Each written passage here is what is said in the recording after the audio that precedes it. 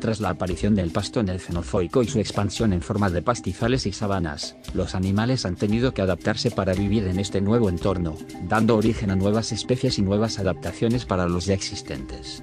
Lo que hoy en día es la sabana africana es hogar de animales tales como hadrosauridos, troodontidos, anquilosauridos, sauropodos y etc. Lank barra girafalto. El lank, o girafalto, es un pterosaurio azbarquido terrestre de la sabana africana.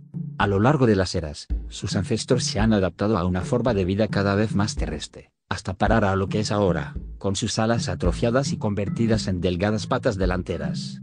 El lanque va de la predación corriendo en una moción coordinada con sus patas traseras y delanteras.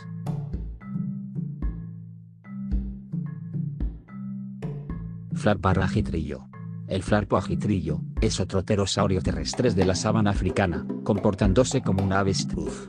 Sus alas vestigiales ahora sirven como demostraciones coloridas durante la temporada de apareamiento cuando los machos se disputan el dominio de las hembras.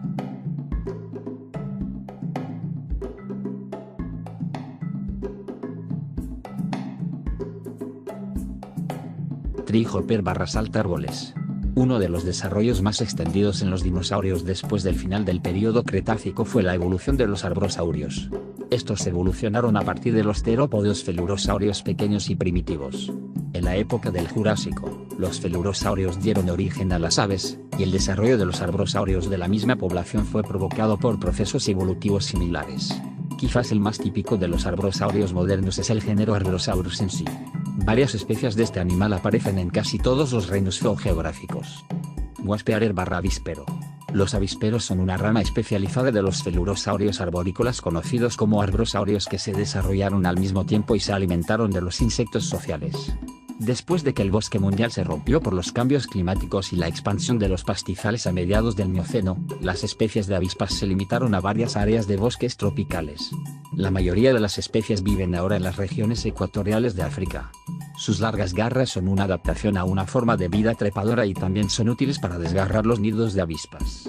Su piel escamosa se ha convertido en un techo de placas superpuestas, impenetrable a las picaduras de los insectos. En los bosques tropicales de las ecozonas neotropical indomalaya han evolucionado vertebrados similares que se alimentan de avispas. Muchos de ellos están relacionados con el avispero africano, que se ha aislado en las diversas regiones de bosques tropicales. Otros, como el pangalón de la cuenca del Amazonas de América del Sur, están relacionados solo de forma lejana y han desarrollado formas similares por evolución paralela. El desarrollo independiente en animales relacionados o similares de adaptaciones similares para permitirles seguir estilos de vida similar.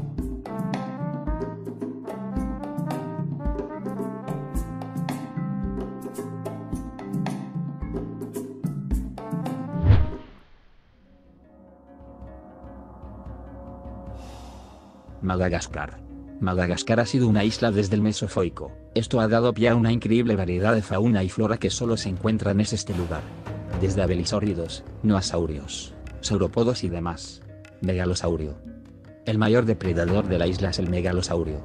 Es una especie de megalosaurus diferente a la que vivió en la época jurásica, pero sigue siendo un depredador grande y activo, de unos 8-10 metros, 27-33 pies, de largo, que merodea por los bosques a veces solo y a veces en manadas, cazando a los grandes herbívoros de la isla, como los titanosaurios. A medida que envejece y se vuelve más lento, vive como un carroñero solitario, devorando los cadáveres de animales ya muertos y los restos de las matanzas de megalosaurios más jóvenes.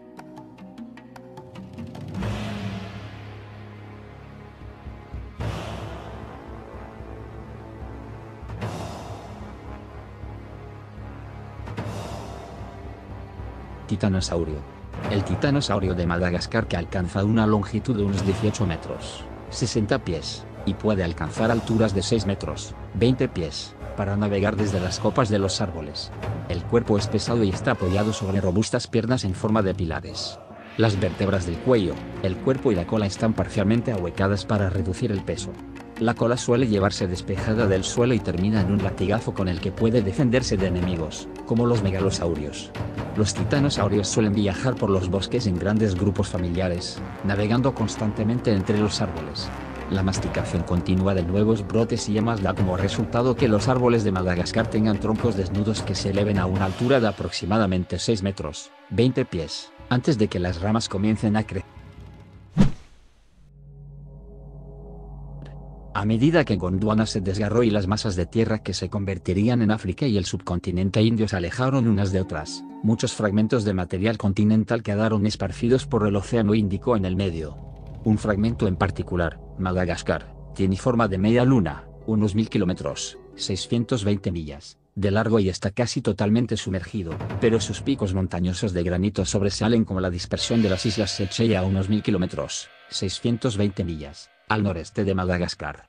Aquí nuevamente los animales son remanentes de la antigua fauna de Gondwana, pero son algo diferentes, habiendo evolucionado para hacer frente a nuevas condiciones. En una isla pequeña no hay tanto para comer y la comida se encuentra en un área mucho más limitada. Megalosaurio enano. El megalosaurio enano tiene la apariencia de uno de los felurosaurios no aviares de constitución ligera, en lugar de uno de los grandes terópodos no felurosaurios. Se alimenta de las versiones enanas de los dinosaurios no aviares herbívoros, como los titanosaurios enanos, pero su estructura liviana lo hace ágil y rápido, y puede percibir criaturas más pequeñas y de rápido movimiento, como las aves marinas que acuden en bandadas a lo largo de la Costa Blanca. Playas bordeadas de palmeras de las islas.